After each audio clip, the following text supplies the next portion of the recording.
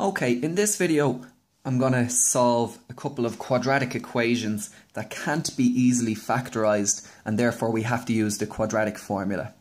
The quadratic formula, hopefully you recognize it, is x is equal to minus b plus and minus the square root of b squared minus 4ac all over 2a. And a, b and c we get from our quadratic equation when we have it in this order. a is the coefficient of x squared, b is the coefficient of x, and c is the constant. So I have two examples here and they're just going to be slightly different in the sense that the first example I'm going to give the answer correct to three decimal places and in the second example I'm going to give the answer in surd form. You can be asked either one um, anytime.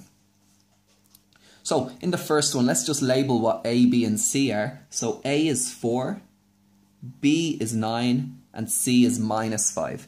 Now just be careful that C is actually minus 5 and not 5 because it's quite common to make a mistake here and forget to put in your negative sign. Okay, so let's fill in our formula. So x is equal to minus b, so that's minus 9, plus and minus the square root of b squared. So that's 9 squared, which is 81, minus 4ac. So minus 4 times 4 times minus 5. And this is all over 2 times a, which is 2 times 4. Okay, so this is equal to minus 9 plus and minus the square root of 81 Minus 4 times 4 times minus 5 is 80. And 2 times 4 is 8.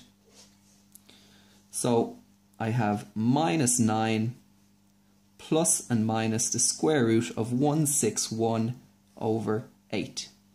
Now I want the answer correct to three decimal places, so I just go to my calculator now and type this in individually. First of all with minus 9 plus 161 square root of 161 over 8 and then minus 9 minus the square root of 161 over 8 and I get my two solutions to be x equal to 0.461 and x equal to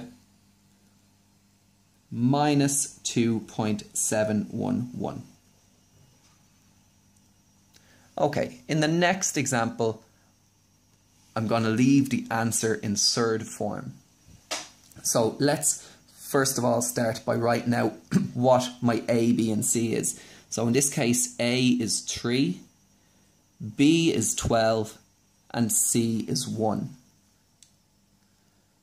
So minus B, that's minus 12, plus and minus the square root of B squared. Okay, B squared is 12 squared, which is 144 minus 4 times A, which is 3, times C, which is 1.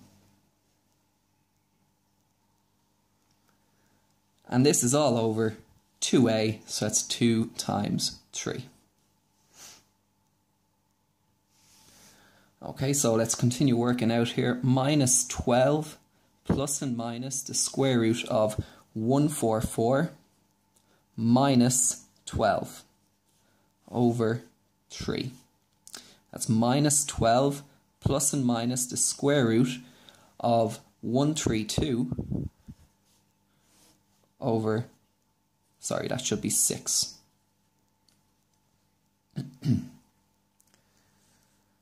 okay, now the square root of 132, I can actually simplify that. Uh, 132 is divisible by 4, which is a square number. So I'm going to rewrite as minus 12 plus and minus the square root of 4 times the square root of 33. 4 times 33 is 132. And this is over 6. Now I'll just take this up here. So minus 12 plus and minus. The square root of 4 is 2. So it's 2 root 33 over 6. And now I can divide this term, this term, and this term all by 2. So I get minus 6 plus and minus the square root of 33 over 3. And that is my answer left in surd form. I'm not going to simplify it anymore. I'm not going to write it as a decimal. And we can leave it with the plus and minus in one solution. We don't have to separate it into the two solutions. Okay, if you have any questions, please ask in the comments below. Uh, thank you for watching, and I'll see you next time.